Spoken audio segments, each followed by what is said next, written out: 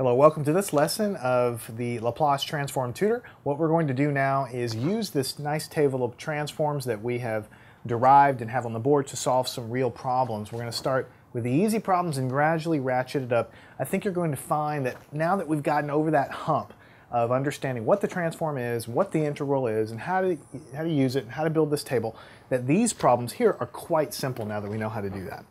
So let's say that we want to find the Laplace transform of the function of time, t to the fourth. So that's f of t is equal to t to the fourth. So the way you would do that on your paper is you would just say Laplace transform of f of t is equal to the Laplace transform of t to the fourth, right? So how do you do that? You go over to your table of Laplace transforms and say, hey, is there anything that looks like that? Ah, t to the power of n. It's going to be n factorial over s to the power of n plus 1. In this case, n is equal to 4. All right, so you have 4 factorial over s to the 4 plus 1. All right, and then 4 factorial you should know is 4 times 3 times 2 times 1 over s to the fifth power.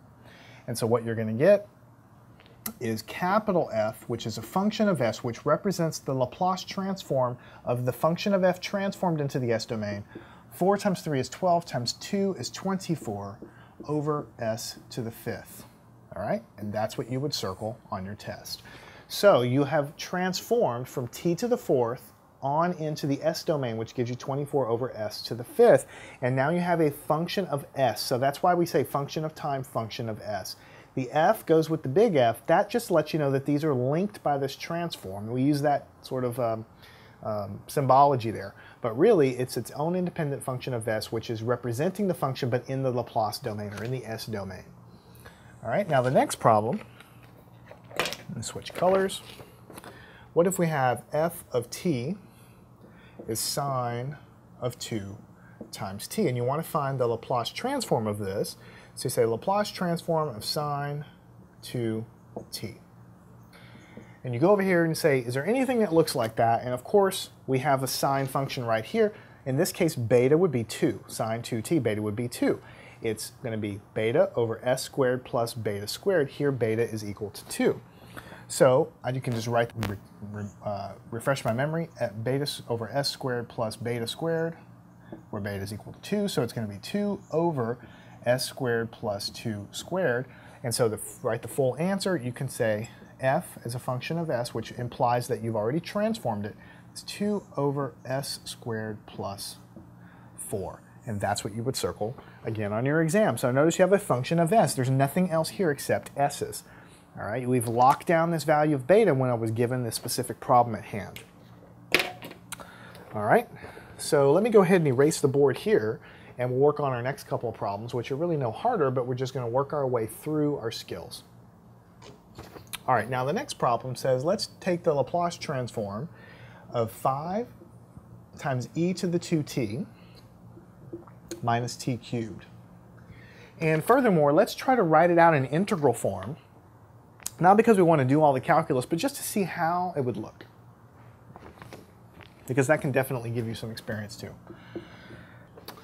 All right, so what you would have if you were doing it by the definition of the transform, which we're just doing here for clarity, just to kind of show you, integral e to the minus st, and then you open up parentheses and dump your function. And now your function is a linear combination of two things. It's got an exponential, and it's got a minus sign here actually, and it's got t cubed dt. So if I didn't know anything about this table of transforms, I would dump this in and I would try to integrate it.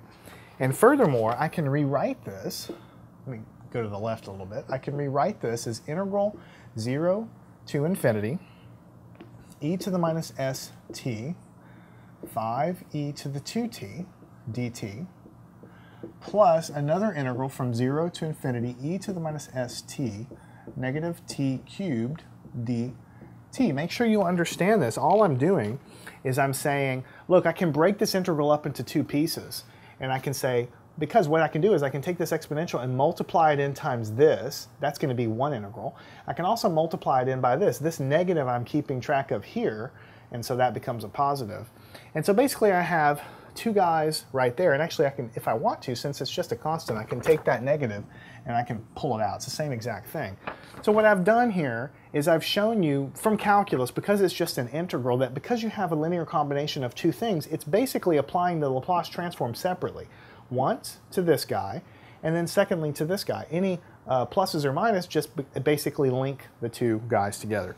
So another way to write this is Laplace transform of 5e to the 2t minus Laplace transform t cubed. So this is kind of what your first instinct would have been anyway. If I had given you this problem and I said, what's Laplace transform? You apply it to the first term, you apply it to the second term, whatever is here, plus minus, just links them together. I'm just going through the integral here to kind of show you that by calculus that, that basically it all connects together and it works. So that's linearity. That's the property we discussed. Now that we got down to this level, we can apply the transform separately. Let's go ahead and do it. Right? So does anything look like this? e to the 2t. Well, we see right here, e to the 2t fits this.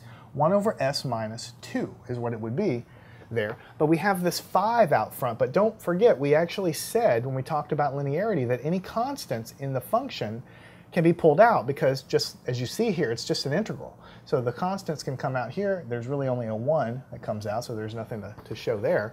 So what it becomes then is it becomes 5 times the Laplace transform of this, which we already said is 1 over s minus 2. That's the Laplace transform of e to the 2t. Then we subtract off, we say what's the Laplace transform of t cubed? We go here, we say that it's going to be 3 factorial s to the n plus 1, which would be s to the fourth power. So we say, just to show it, we say 3 factorial s to the 3 plus 1. I don't like to do too many things in one step, so I like to show everything. And so what I would have here is 5 over s minus 2 minus 3 times 2 is 6 times 1 is still 6 over s to the fourth power. So I get 5 over s minus 2 minus 6 over s to the fourth. This is f capital of s because it's a function of, uh, it's a pure function of s. So notice that what's happening every time we, we transform these guys is I go from a function of t to a pure function of s. It gets confusing whenever you first learn about the transform because you see betas and lambdas and stuff running around, but those are just constants. Those are locked down by your problem. You should end up with a pure function of s. That's what the Laplace transform is. All right, so let's go on to the final problem in this lesson which is going to be, what if I have the function f of t is t squared minus 7 plus cosine of 2t. How do we take the Laplace transform of this?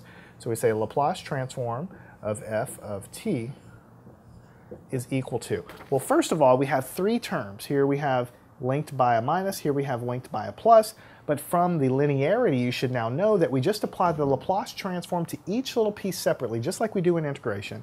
The minuses and pluses will just link the answer. So we go and look at t squared. t squared fits this mold, so it'll be 2 factorial over s to the 2 plus 1. So what we're going to write here is 2 factorial over s to the 2 plus 1. That's going to be the first term. And then we carry the minus sign, which comes from here. And now we have to take the Laplace transform of 7. Now, we don't have a Laplace transform of 7. Okay, obviously we don't have that, but we have the Laplace transform of 1.